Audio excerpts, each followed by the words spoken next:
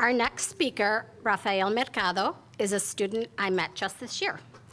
On the outside, he appears to be kind of a quiet guy, um, but that has not stopped him from getting involved on campus and sharing some of his college's, college experiences and even challenge, challenges in an effort to help other students here at Tri-C. Rafael is an excellent student and a great example of how the right college fit can make all the difference in pursuing your career goals. Please welcome Rafael Mercado.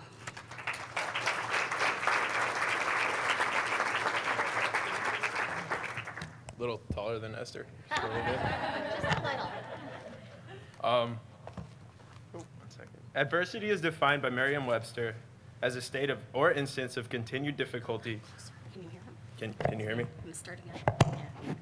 Adversity is defined by Merriam-Webster as a state or instance of continued difficulty or misfortune. Personally, I see adversity as something one can use to build themselves up to be stronger than they were before. My name is Rafael Jose Mercado, and I'm a first-generation Latino college student. Although I was born here in Cleveland, I am proud to call myself Puerto Riqueño. I'm a middle child with an older sister, a younger brother, and two loving and supporting parents.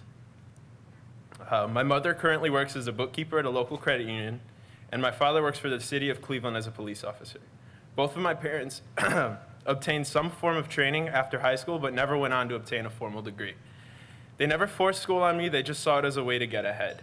Um, I'm a graduate of James Ford Rhodes High School. Sorry, lost my place. Sorry. Uh, I'm a graduate of James Ford Rhodes High School, and I began my college education at Tri C Metro through the High Tech Academy program at the start of my sophomore year. I followed in the footsteps of my sister, who joined the program when she was at Rhodes as well. Uh, I also joined as a way to escape the somewhat bare bones education offered by the Cleveland Municipal School District, which at the time had a Hispanic graduation rate of around 30% and an overall graduation rate at just 65%. Uh, the High Tech Academy served as a way to push myself to not be a statistic, something that had been instilled in me by my parents and grandparents from a young age. My abuela, who unfortunately passed away earlier this year, raised seven children in her lifetime with only a third grade education, uh, each of whom successfully completed high school. And a similar ethic has been passed on by my parents.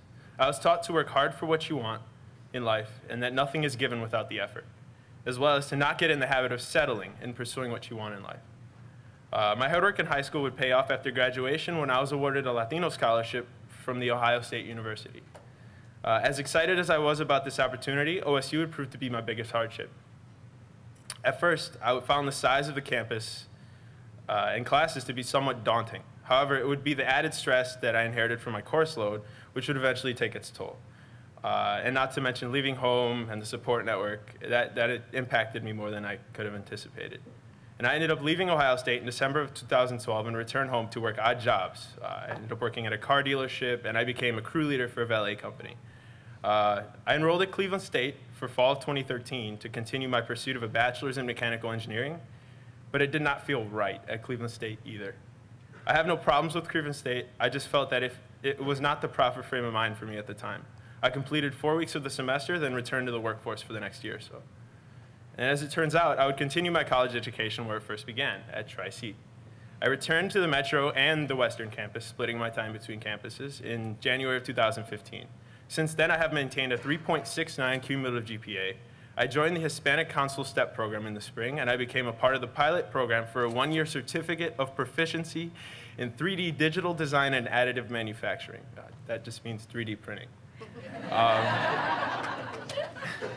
um, and I'm also very proud to share that I plan on receiving two degrees from Tri-C uh, by the end of 2016.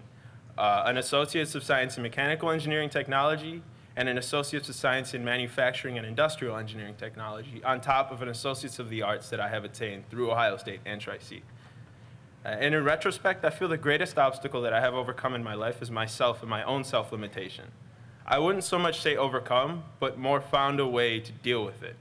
If my grandmother was able to accomplish everything she set out to do with an extremely limited education, then someone like me with a supportive family, friends, and a further education can, can accomplish anything I set myself to.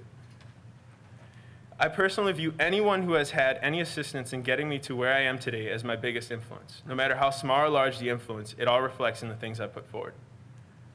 Uh, if I could share one piece of advice to students who find themselves not at the right college for one reason or another, I would advise them to keep looking for what does feel right. If the fancy, flashy college seems too good to be true and you find yourself slipping, consider your local community college. And the adversity I have faced in the past has not been a setback for me, but more so a compass in pointing myself in the right direction. My future goals include completing my two associate's degrees and the certificate of proficiency in additive manufacturing. I hope to work for a company that can have a key role in changing manufacturing as we know it today, from antiquated methods to something newer and completely different. Working in a position where I may end up working anywhere in the world, all because I never chose to listen to who judged me and my potential based on my heritage. In closing, I would like to thank AT&T, KeyBank, Bernie Moreno Companies, and the Tri-C Foundation for their generous support.